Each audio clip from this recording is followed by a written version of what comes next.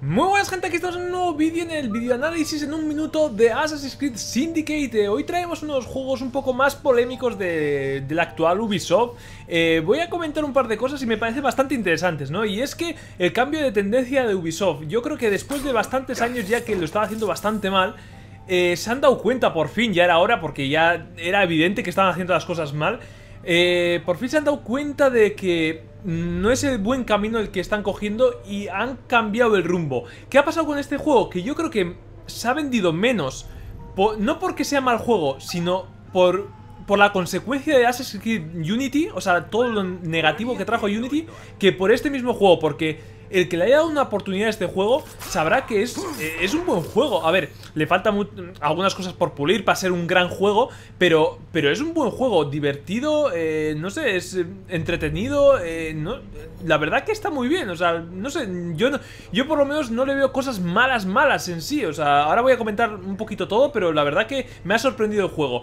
Lo primero que tengo que decir para que veáis que no soy súper ahí eh, super fan, ¿vale? Es que este juego no me lo compré de salida. Normalmente los Assassin's Creed lo compro de salida, todos, ¿vale? Todos. Y... Este no me lo compré de salida, eh, porque ya, no sé, me empezó a quemar un poco Assassin's Creed y no me lo compré de salida. Y ya iba con la ya iba predispuesto a ver un juego mediocre, ¿vale? Entonces que no, no estaba ni hypeado ni nada, o sea, iba como una persona normal a jugar un juego, ¿no? Entonces me ha sorprendido mucho este juego porque tenías las expectativas tan bajas de la gente que comentaba, pues, wow, qué malo es, no sé qué, pero yo creo que comentaba más por Unity que por el Syndicate, o sea, para mí, ¿eh? eso es mi opinión, pero bueno, yo creo que comentaba más por el Unity que por, por esto, por el Syndicate.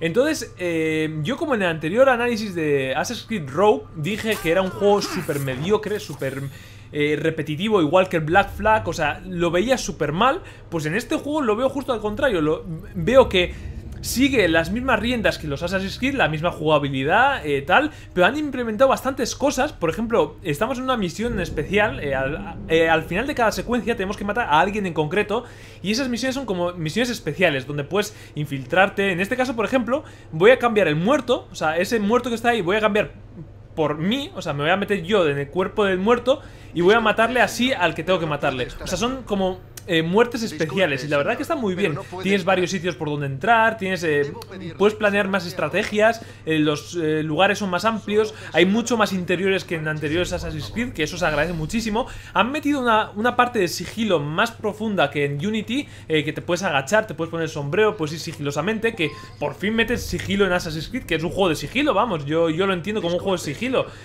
Pues eso, pues han implementado por fin, tienen que pulirlo un poquito más, pero va por el buen camino. Y han implementado una cosa nueva que es el gancho. El gancho, una cosa que no me llamaba nada. O sea, yo pensaba que, bueno, cuando vi un vídeo de gancho, dije, madre mía, ya están jodiendo las Creed con el gancho. Y la verdad que le da mucha verticalidad al juego y le da mucha eh, no sé, le da mucho dinamismo al juego, en mi opinión, ¿vale? Eh, la verdad que son implementaciones que creo que han acertado, todavía le faltan una vuelta de tuerca, le falta un poquito trabajarlo para que funcione perfectamente, pero bueno, eh, la verdad que la implementación, todas estas implementaciones son muy buenas.